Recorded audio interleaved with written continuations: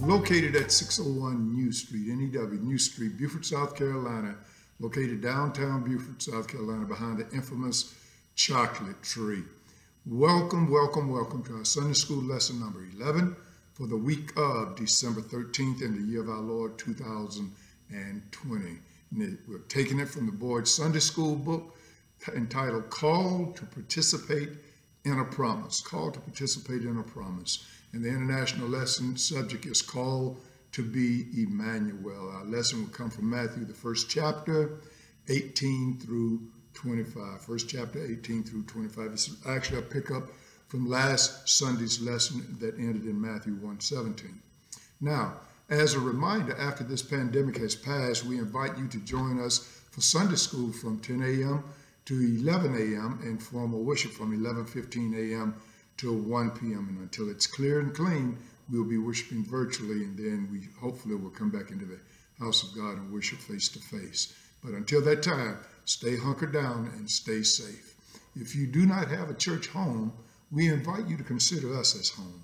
The only prerequisite that we have is that Jesus Christ is acknowledged and is real in your life as your Lord and Savior. In furthering announcements, we would also like to invite you to come out to our church parsonage located next door to the, uh, to the church on New Street, NEW Street, New Street, starting at 11.30 a.m. each Sunday for free food from our food bank that's supported by Second Helpings. The food is free of charge and is offered to anyone and everyone that comes out. You don't have to be a member of this church or any other church to receive this food as a Side note also that the food will not be handed out until 11:30, and that is to give everyone a chance to choose from these resources. The only thing that we ask uh, when you come out for the food is consider this: is that uh, we ask that you be masked and keep at least six feet from your neighbor in accordance with CDC guidelines. And I've iterated and reiterated and re-reiterated that this virus is very real. You know it's real in your heart of hearts. So please follow the directions of the workers distributing the food for your safety as well as theirs. Okay? I do also want to thank all of our church members and friends. I'd be remiss if I didn't for their continued support of First African Baptist Church and that uh, your giving is sustaining us in the overhead of our legacy. And if you're not a member of FAB uh, uh, proper, but you desire to become a member of our giving legacy, feel free. You may send an offering to the First African Baptist Church, 601 New Street, Beaufort, South Carolina, 29906. And the address will also be given at the end of this Sunday school broadcast. now, I would also like to remind our congregation and friends that we will be celebrating our church's 156th anniversary on July 21st in the year of our Lord 20. 21. I know I said last Sunday 157. It's actually the 156th uh, uh, church anniversary. We are asking all members and friends that can participate to offer $156 outside of your normal giving, in keeping with our tradition of matching our church's birthday with our traditional giving each January. If you can, we really do appreciate it. And if you can't, we thank you for having in mind and desiring that you want to. We do really appreciate your prayers and well wishes for our success. So if you do, you do. If you don't, you don't. We're going to love you anyway. Amen. And what is our standard for success? It is that God be glorified, Jesus be honored, the Holy Spirit be obeyed, and God's people be edified. Now, having given the announcements, I ask that you turn in your Bibles or Sunday school books to Matthew, the first chapter, and let us read the verses 18 through 25. And I'll be reading from the King James Version. Okay, here we go. We're in this season uh, uh, uh, to be merry and, and jolly. This is the season that we celebrate the birth of Jesus Christ, our Savior. And here we go. Now, the birth of Jesus Christ was on this wise. When, uh, as his mother Mary was espoused to Joseph, before they came together, she was found with child of the Holy Ghost. Then Joseph, her husband, being a just man and not willing to make her a public example, was minded to put her away privately. But while he thought on these things, behold, the angel of the Lord appeared unto him in a dream, saying, Joseph, thou son of David, fear not to take unto thee Mary thy wife, for that which is conceived in her is of the Holy Ghost. And he shall bring, and she shall bring forth a son, and thou shalt call his name Jesus, for he shall save his people from their sins. Now all this was done that it might be fulfilled, which was spoken of the Lord by the prophet uh, Isaiah in particular, saying, Behold, a virgin shall be with child, and shall bring forth a son, and they shall call his name Emmanuel, which being interpreted is God with us. Then Joseph, being raised from sleep, did as the angel of the Lord had bidden him, and took unto him his wife. Key point, and knew her not till she had brought forth her firstborn son, and he called his name Jesus. And may God add a blessing to the hearers and understanders and the doers of his word. Let us pray, my beloved. Father, we thank you for one more time, one more day, one more year, one more month. We thank you for this time that you have given us to glorify you, Lord, and in glorifying you, we edify our own selves to show that we are your children and we choose to believe what you have said in front of us. We choose to believe that Jesus is Emmanuel. We choose to believe that you loved us from the foundation of the world. And we want to say thank you, Lord. Thank you for being so good all the time. There's none like you in heaven above or earth beneath. And we worship you and we adore you and we praise you, Lord God.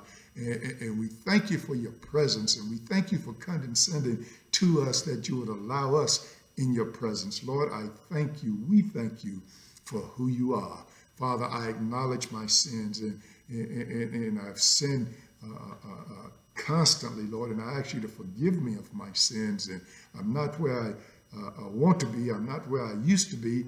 But Lord, please keep me all the way as I, you've already promised, and I know you have. I'm just agreeing with what you've already said.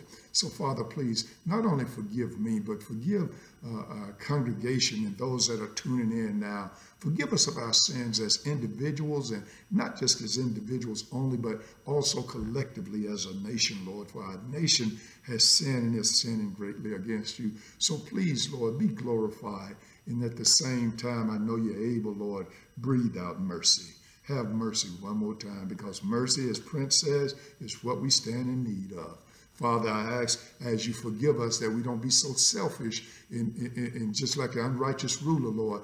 We ask for a forgiving heart in each and every one of us, Lord.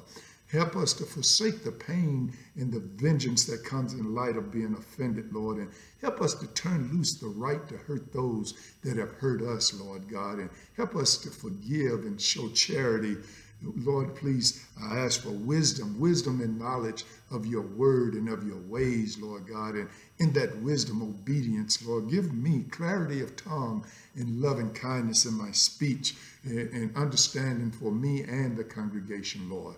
Father, I pray for those on the shut-in list, the prayer and shut-in list, Lord, not just this church only, but all the surrounding churches, Lord God, that pray for the ones that are shut down. And Lord, please, uh, I acknowledge your sovereignty and I give you the glory. Therefore, Lord, please hear our prayer, honor our prayer for thy name's sake, not for our glory, but for your glory. In Jesus' name we pray. And the church of God, ah, and the church of God said, Amen Amen and amen. Now, let's get into our lesson for the week where we will find out who it was that was called to participate in a promise. Here we go.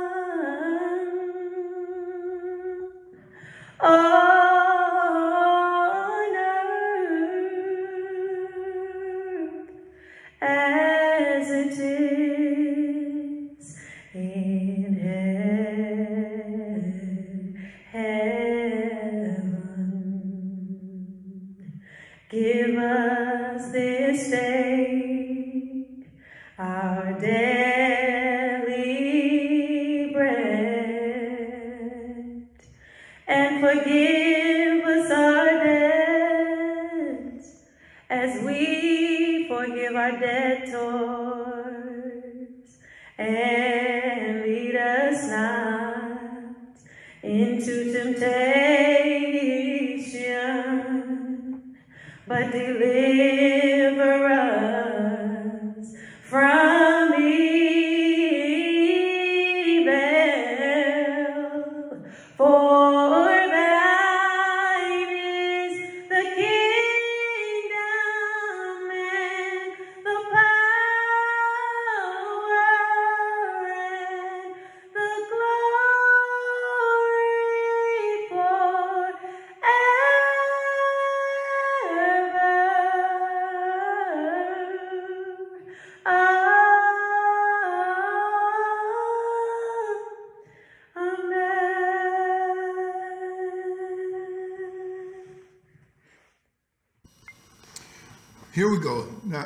to start off with just a small rabbit trail, if you don't mind. And uh, in saying that, I'll tell you a little story. I, several years ago, I went out to buy a brand new vehicle for my wife, and I wanted to buy a minivan.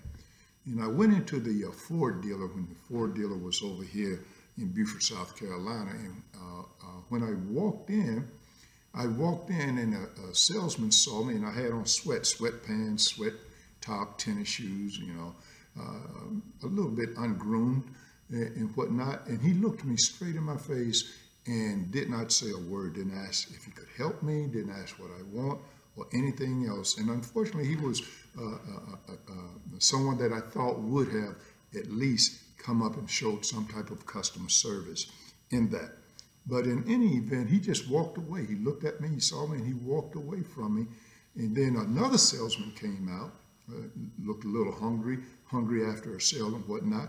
And he saw me and he hurried and came over to me and asked, could he help me, regardless of what I looked like? And I said, yes, sir, I want to buy a van. And uh, uh, he looked at me and showed me that Astro, y'all remember the Astro van uh, at, during that time, and he showed me the van, and I bought it that then in that day, that then and there on that day. And in buying it, I saw the other guy that had ignored me. His mouth was open when he looked at me, not knowing that he had lost a commission and had lost a customer. And I'm saying that to say this, my beloved. Don't judge a book by its cover. Don't judge people by what they look like all the time because you could be in rejecting that person or those people, you could be rejecting your own blessing. Amen. Amen. So I, I said that in light of today's lesson also. Today's lesson focused on the unlikely hero, Joseph of Nazareth. And that's who we're going to talk about, Joseph of Nazareth. Joseph's background was unremarkable in a number of ways. I mean, he didn't have a whole lot going for him as far as what earthly people, as far as what people around him, even in his hometown, would say. First, his place of residence was Nazareth. Uh, you know, it's even stated in the Bible. The question is asked by the Pharisees: Can is there anything good uh, uh, that can come from Nazareth? Not the Pharisees, but his own apostles. Is there anything good that can come from Nazareth? It was a little low-life place, a place where the soldiers would go and revel. It was a, a place not bigger than where I was uh, uh, born, Dixie Lane Alley in Mississippi. And truly, that's what it was an alley filled with sharecroppers' houses, two bedroom houses, a dirt road. Uh, since then, they've torn it down, but it was a place of no remarkability. It was a tiny village, Nazareth was, well off the beaten path. And in Joseph's day, the town was so insignificant that it wasn't even mentioned in contemporary sources uh, uh, outside the Bible.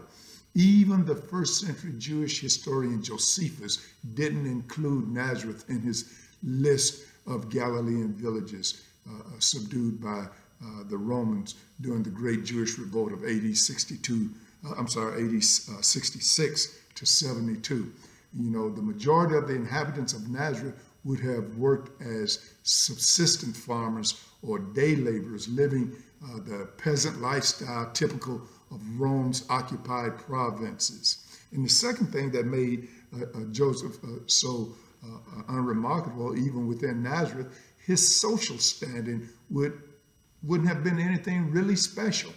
Its residents were dismissive of the adult Jesus, calling him the carpenter's son. A reference to that reveals Joseph's trade, however. The Greek word, often translated carpenter, we think of woodworkers and woodworkers only, but it, it, includes a whole range of occupations within building. So a carpenter could refer to a skilled woodworker, uh, a, a, boutique craftsman, a construction worker, a, a stonemason, or whatever. Fits all under that heading of carpenter in that particular Greek word. So in the first century AD, Galilean laborers like Joseph was employed on major construction projects funded by the uh, Roman client King Herod Antipas, where they worked with stone, wood, and other materials to build roads and public buildings of such. Joseph may have spent most of his life working on new and elegant Roman colony uh, uh, uh at uh, Sepphoris, a three-mile walk north of Nazareth. And we saw where when he went into Bethlehem, he stayed there for a number of years, applying his trade even there. You know, life was hard for poor laborers in that era, a fact that may explain why Joseph apparently didn't live to see Jesus' ministry. The average lifespan of an adult male during that time was no more than 45 to 48 years old. While he is mentioned as the father of the adult Jesus in, in John 6:42, uh, he last appears in the gospel in Luke 2 41 through 50, a story that took place when Jesus was 12 years old, when him and Mary uh, was returning from Passover and went to look for Jesus and had to go back and find him. So, in ancient times, tradespeople like Joseph were not protected by labor laws or collective bargaining agreements uh, like what we have today. You know, as a result, they were subject to long work days, dangerous conditions, and the typically uh, high levels of taxation that Rome levied uh, on the subjects. It is highly unlikely that Joseph had received any kind of formal education, and almost certainly that he could not read or write with any level of proficiency. Were it not for his association with Jesus, Joseph would have been lost to the pages of history Nobody would have ever noticed his coming and going. But despite his humble origins, Joseph stood out among his peers in at least two uh, uh, uh, respects. First, Joseph was a descendant of King David. You find that in the genealogy of what we studied last Sunday in Matthew 1 1 through 16. And thus, a member, a member of Israel's royal line. He was a descendant of, of the king. This fact explains uh, why Joseph took his pregnant wife from Galilee to Bethlehem, because she was a descendant of King David also, as you find in the lineage of Luke. And in doing so, they both had to go there to pay their taxes and whatnot. Uh, uh, Joseph could have went alone, yes, but he was fulfilling scripture and prompted by the Holy Spirit that this child would be born in Bethlehem. Isn't that something? Okay. So Bethlehem, that's a Judean village about six miles from Jerusalem. They went there to register for the Roman tax census that's uh, recorded in Matthew 2 and also in Luke 2. Bethlehem was David's hometown, 1 Samuel 16 and 1. David was widely understood to be the ancestor of the coming Messiah who would rule Israel on David's restored throne. And you can find the story and ideology behind that in 2 Samuel, the seventh chapter, as well as Jeremiah, the 23rd chapter. The second way Joseph stood out among his peers is what we're going to study about today. So let's get into the heart of the lesson. Let's first look at this unexpected pregnancy. Oh my goodness, isn't this something? Said verse 18. Now the birth of Jesus Christ was on this wise, when as his mother Mary was espoused to Joseph, before they came together, before they came together, she was found with child of the Holy Ghost. Huh.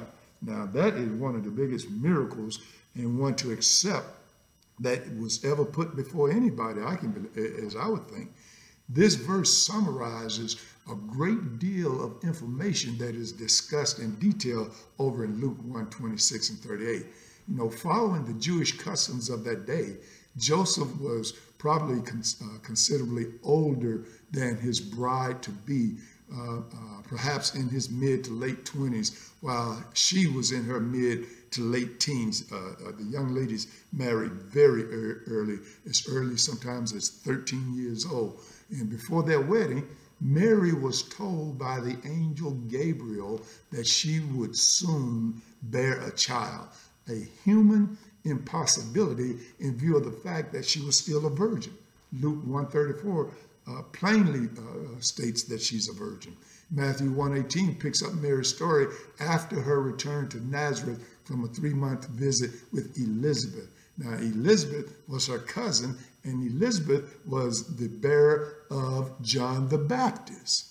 Okay, so and after she had visited three months there, and Elizabeth had uh, uh, finished uh, uh, uh, with the birth of John the Baptist six months later, that's when Mary had Jesus. So that's why we know that John the Baptist was at least six months older than Jesus. You know, one can imagine how Joseph felt, though, when he discovered that his fiancee was pregnant.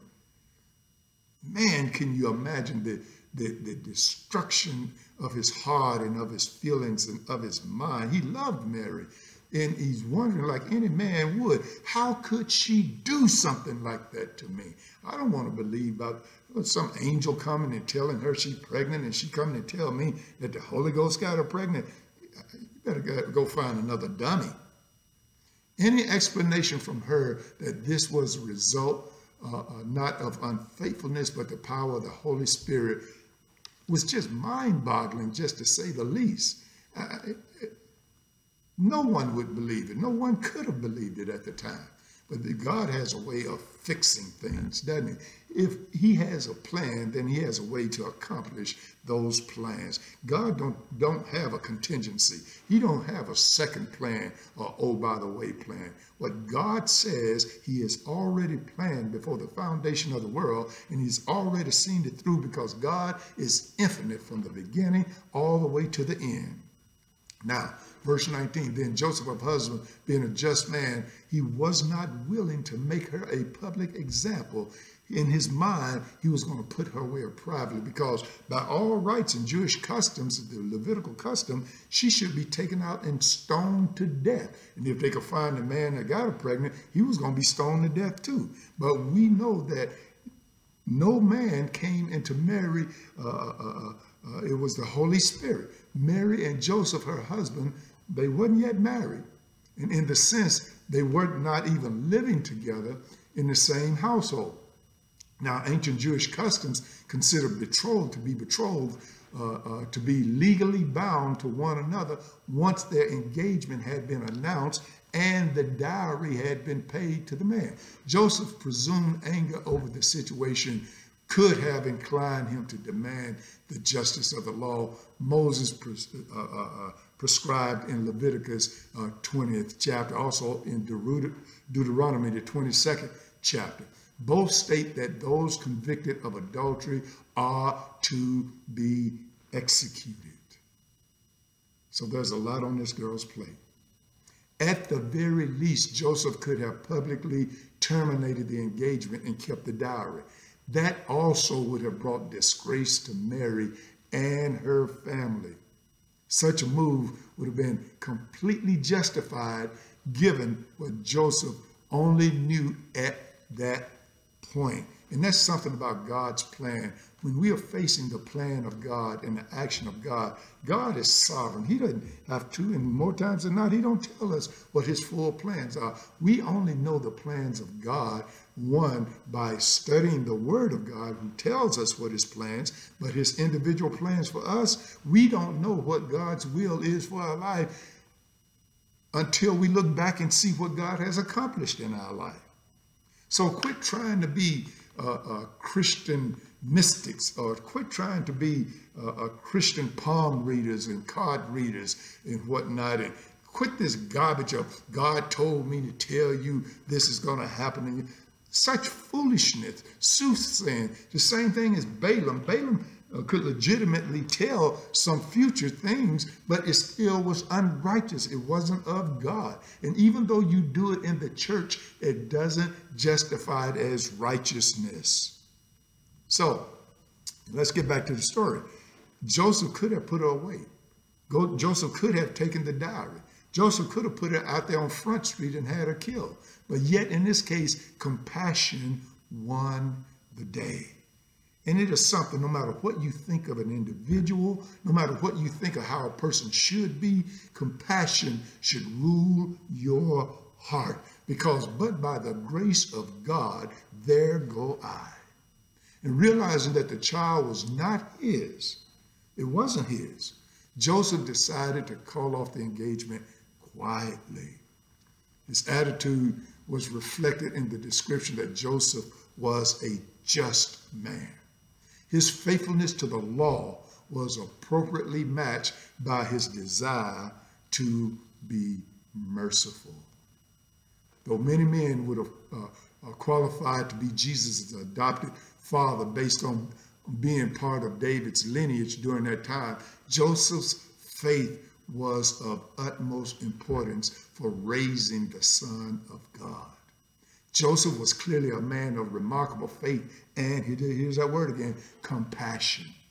These traits come to the forefront of today's passage in our study and are critical to Matthew's larger account of the circumstances of Jesus' birth and early childhood. Verse 20, here we go. But while he thought on these things, Joseph, behold, the angel of the Lord, Gabriel again, the angel of the Lord appeared unto him in a dream. Matthew's account of the events leading to Jesus' birth is filled with dreams. Amen. So many along the way had dreams. They were dreamers. No fewer than five times, and, five, characters received divine revelation through dreams that significantly impacted the course of events. Now, keep in mind, you say, you see there, that proves that God still works through us in dreams. No, it does not. Because if you read and study last week's lesson, it said God who at sundry times spoke to the prophets in different manners, and that's talking about in dreams and visions. But in this day, right now, he speak to us through Jesus Christ in his completed word that is the Holy Bible. That's how God speaks to us now. And in your Christian walk, the walk should be living the life that God would have you to live, doing what God would have you to do, enjoying what you desire to enjoy within the confines of Christianity. Eh, you know, a lot of people ask me, well, is it God's will that this person is my husband? Is it God's will that I buy that car? Is it God's will that I, I uh, purchase that home? All of these things are temporal and if you are doing it in accordance to God's word, as far as marriage, let's look at marriage. If you are not unequally yoked and you love the person, marry him. But listen to what the scripture says. Don't be unequally yoked. If you want that car, you want that house, and without going into deep debt, or, or uh, you can afford it, and God has blessed you to, uh, uh, to have it, buy it.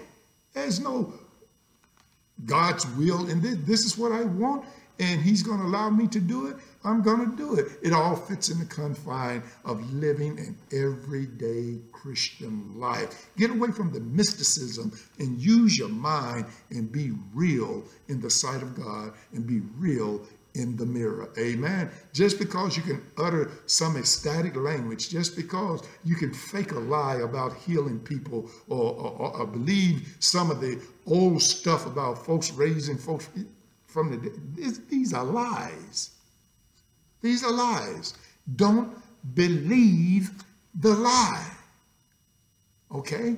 These dreams were before the canon of Scripture was sealed, before Revelation was the last book of the Bible. Okay? So one of these dreams, however, though, and they were still, remember, during this time, even though this is in Matthew and Luke, they are still living in Old Testament times because Jesus Christ has not been crucified yet. And once he is crucified and resurrected, that begins the real New Testament that's in his blood because the new covenant had to be written in Christ's blood. One of these dreams, now let's talk about the dreams, were given to the wise men who warned them not to return to the treacherous King Herod, told them to go another way. Uh, uh, uh that advice probably saved their lives. Amen. Uh, four other dreams were all communications to Joseph, calculated uh, uh, to empower him to protect Mary and Jesus from harm. And you can find other reasons of uh, the other dreams that God gave Joseph in the second chapter, in the 13th verse, and in the 19th through the 20th verse, and in the 22nd verse. You'll find all that in Matthew. You'll find what God gave Joseph dreams in directing his path. Now, while anyone would be awed by even one experience, Joseph in particular must have been surprised by these revelatory dreams. Now, in the Old Testament, very few people learned about God's plan and dreams. They included Abraham, find that in Genesis, in Genesis. Jacob had dreams, Genesis 28th chapter. Joseph, who bears the name of Joseph here, uh, uh, technical Jackie, uh, uh, uh Isaac's son, Jacob's son, brother, uh, 37th chapter. And then Solomon had dreams in 1 Kings, the third chapter, and Daniel had dreams in Daniel, the seventh chapter. Undoubtedly, there have been nothing in Joseph's life to this point to suggest that he would be numbered with the select group. And a lot of times you may feel that you're beyond God's use and God has no use. Trust me, there's not a human being born that God doesn't have a purpose for to glorify himself in. I don't care who you are. And one thing I want to put on the table and then sweep it off is that there is not one child that has ever been born that is a mistake. God gives life and God takes life. Blessed be the name of the Lord. Amen. Amen. Verse 20, second part. Saying, Joseph, thou son of David, fear not to take unto thee Mary thy wife, for that which is conceived in her is of the Holy Ghost.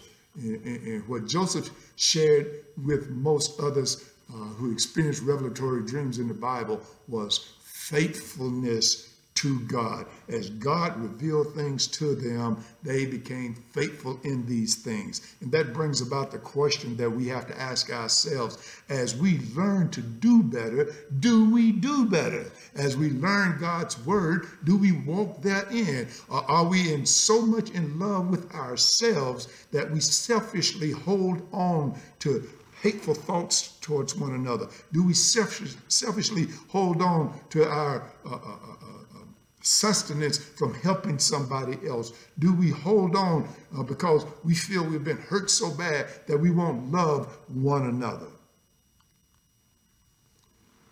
What we learned from Joseph's first dream was more significant than anything God had ever revealed to anyone before in history.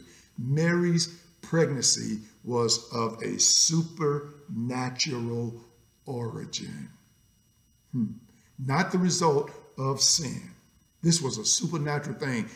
Had not been done before, never to be done afterwards.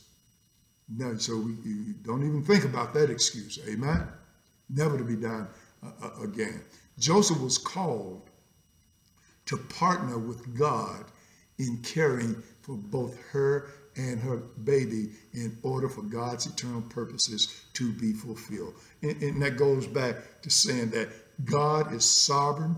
God does anything, however, in whichever way he wants, but God also chooses to use mankind to carry out those sovereign purposes. That makes us also not only disciples of Christ, but also responsible for doing God's work also. And that's also what makes sinners responsible for their sin. The phrase of the Holy Ghost parallels the angel Gabriel's announcement to Mary in Luke 135. Luke underscores the implication of the virgin birth by noting that Jesus, having no biological father, would be son of the highest, Luke 132. This title has less to do with the manner of his conception and more to do with Christ's rights and authority as the sole heir of everything that belongs to his divine Father. Christ had the right to. Amen. So, verse 21 And she shall bring forth a son. This is what the angel is saying. And thou shalt call his name Jesus, for he shall save his people from their sins. Ancient names were often symbolic, associating a person with an event or identifying an important attribute about that person. People's names at that time had meaning behind their character, their personality, and their purposes. You know, following a similar pattern, Jesus is the Greek version of the common Hebrew name Joshua, which means God saves. Joseph perhaps thought of uh, uh, uh, the biblical hero Joshua, whom God used to lead Israel uh, uh, into the promised land. Joseph's adopted son, Jesus, and that is the truth of the matter, his adopted son, Jesus, would not save his people from political oppression. It had nothing to do with the Roman Empire conquering, it had nothing to do with Herod sitting on the throne, it had nothing to do with uh, Pilate's raising and falling, it had nothing to do with the taxation system of trying to overthrow it. He had nothing to do with saving the people from uh, being uh, uh occupied by Rome. He had nothing to do with the political oppression at that time. He could care less but instead he would save them from their sins because the time that we live now in on this side of the grave is but a twinkling in our eye uh, is nothing but a breath it's nothing but a blade of grass that has sprung up to die to be cut down on this side of the grave. But when we talk to individuals and they are converted and they are saved and the Holy Spirit harvests them, then we are talking about eternity, never to end. So what we do for only what we do for eternity will last. Amen. Yes, we are to vote. Yes, we are to have opinions, especially in our democracy. Yes, we are to have to do with the goings on and the happenings of the laws and stuff around. But don't depend on any man, any president, any congressman, any senator, anybody, any preacher to determine your eternal salvation. Our salvation is determined by Jesus Christ and the Holy Spirit that dwells in us. Amen. Amen. So, in order for Jesus to save people later, as he got older, Joseph needed to protect Jesus' right then by caring for Mary. He saved the baby by caring for the wife. Amen. Amen. And, you know, just a little side note, you know I am about these side notes. If you want a household with children that loves you, men, love the wife. And when the child sees the husband and wife loving each other, then their minds and their hearts are relieved and they sleep peacefully. They learn better. They do better. Uh, I'm here to tell you if you really want to love your family, spouses love each other. If you really want a great family, spouses love God. Amen? And demonstrate that before your children. Verse 22. Now all this was done that it might be fulfilled, which was spoken of the Lord by the prophet that said, that, uh, saying, uh, uh saying, prophet saying. Matthew paused the story to remind us, his readers, of a second way in which the significance of Christ's birth and mission was revealed to the world. The ancient and public testimony of the Hebrew scriptures, the prophet in view here, talking about Isaiah, Matthew quotes or makes reference to prophetic texts several other times in his account of Jesus' birth. But these citations combined with Jesus' genealogy work together to demonstrate that the circumstances of the Messiah's birth, although not what most Jews anticipated, were nevertheless consistent with what God had promised. They was expecting a king to come riding on a horse. They was expecting a king to come overthrow the Roman government. They were expecting a, a high political person to uh, usher in the new Jerusalem, the new Israel. But this Savior here to save this uh, man from the sins uh, uh, of the world, to save the world from sin, was born as a in a manger, a lowly person, but yet he was still King of Kings and Lord of Lords. Amen.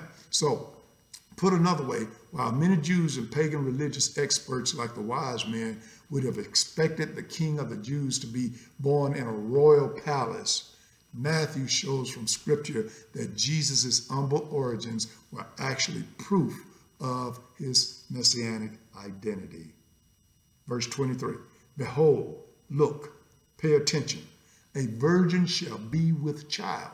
That's an oxymoron, isn't it? A virgin shall be with child, and shall bring forth a son, and they shall call his name Emmanuel, which being interpreted is God with us. This prophecy from Isaiah 7:14 was delivered during a particularly dark period in Israel's history. Isaiah lived in the 8th century BC around uh, 200 years after the split between the northern and southern tribes following the death of Solomon. You know, sometime in around 740 BC, the northern kingdom Israel allied with Syria. And remember, northern king, kingdom and the southern kingdom, these are brothers. They are the same tribe, of the same blood, the same people, but there had come a civil, a civil, a, a civil, civil division. You had the 10 northern tribes and the two southern tribes. And they had lines of demarcation when they separated. Now, Israel of the north wanted uh, the southern tribes to join them to go to war against Assyria. And they said no. So what did the northern tribe of Israel do? They joined up with Syria, not Assyria. They joined up with Syria and went to fight against their own brothers in the south. That's like us joining a, a, a complete stranger against our own family. Isn't this, but it happens, doesn't it? During the ensuing siege of Jerusalem, they went to kill and subject uh, uh, uh their brothers into bondage. So when Israel, the northern kingdoms, went uh, to place siege on Jerusalem, the southern kingdom, Isaiah met with the Judean king Ahaz. Now, Ahaz was an evil king, but God's desire to save his people was above the carnal king's uh, uh, uh personality and conduct. So uh, Isaiah went to King Ahaz to encourage him promising that God would overthrow his enemy. And Isaiah even invited him to ask for a divine sign, whatever he wanted, that victory would come. You find that in Isaiah 7 chapter. And, and here's Ahaz. As unrighteous as he was, like a lot of folks, as unrighteous as they are, they still want to be seen as people of high morals. They, they feign righteousness. You know how this fake piety is uh, uh, when folks say, you know, highly favored and all this other stuff and still live like hell. So here's uh, uh, uh, Ahaz. He refused the sign saying that he did not want to test God. and what he had, in fact, uh, he didn't want to listen to Isaiah because in his feeble little mind, he already had a plan of action. In fact, he had decided to seek protection from an earthly ally. He had already sent ambassadors to negotiate with the Assyrian king, and Assyria was deadly. These guys, I mean, they had packs of skulls stacked up out in front of their palaces and whatnot. These were bloodthirsty people, and they would annihilate uh, nations by intermarriage and whatnot. And that's why you had northern Israel uh, and the Assyrian people and other captive people marry them, and they became known as Samaritans. And the southern people hated the Samaritans. That's another story.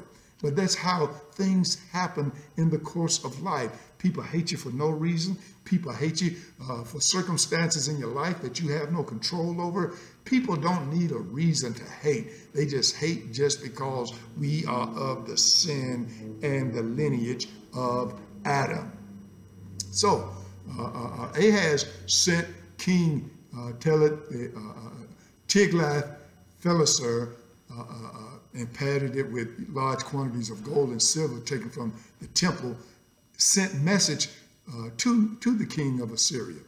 And Assyria responded gladly by attacking and subjugating Israel. Israel wanted to take, uh, uh, take their brothers in the south in bondage, and God turned that thing around uh, uh, in, in, his providence and show uh, when Assyria came and took Syria and Israel into captivity.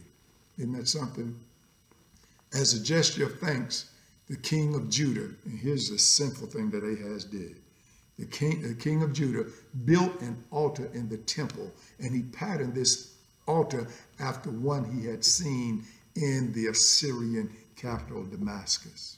You find that story in 2 Kings 16th chapter. While these actions seemed politically expedient at the time, Isaiah recognized the faithlessness of this strategy. He responded by offering the king of Judah a sign quite different from one uh, the wicked king might have requested, as evidence that God himself would deliver Judah from its enemies, a child by the name of Emmanuel, God with us, was to be born. Before a certain child reached age 12 or 13, the nations of which the king was so terrified of would cease to exist. Isn't that something? After the Assyrians defeated those nations, they would get theirs at the hands of the Babylonians. And it was the Babylonians who destroyed tiny Judah in 586 BC under uh, Nebuchadnezzar. It's unclear now whether Isaiah himself saw this prophecy about Emmanuel partially fulfilled through the birth of his own son the following year. That, that story is in Isaiah 8, uh, uh, 1 through 10. Matthew definitely saw the fullest significance of Isaiah's words in the birth of Jesus. But in the long term, this sign referred to the coming of the Christ, the ultimate Emmanuel, the ultimate God with us. The Bible emphasizes the importance of God being with his people. This is more than just a figure of speech. In Jesus, it was a fact. The Word was made flesh and dwelt among us, according to John 1.14.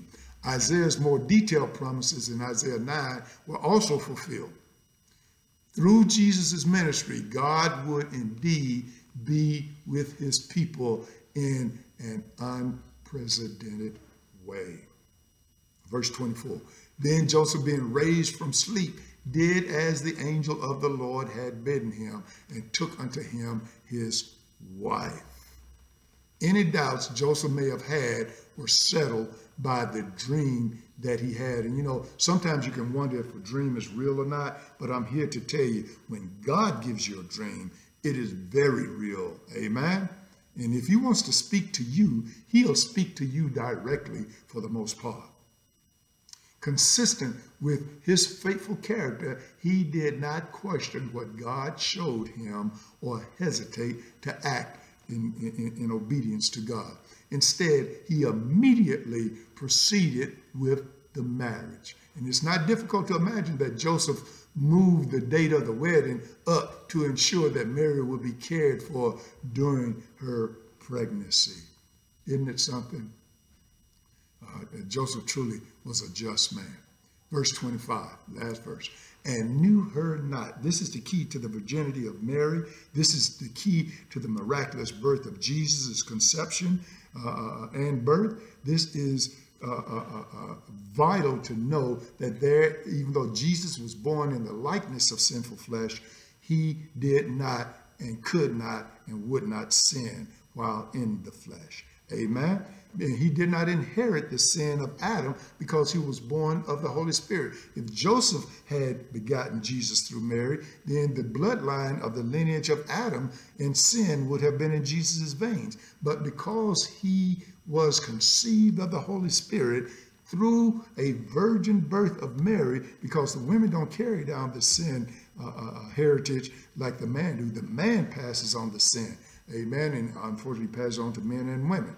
So here's verse 25. He knew her not till she had brought forth her firstborn son, and he called his name Jesus. Joseph not only obeyed God's instruction to take Mary as his wife, but also went a step further by not consummating the marriage until Jesus had been born.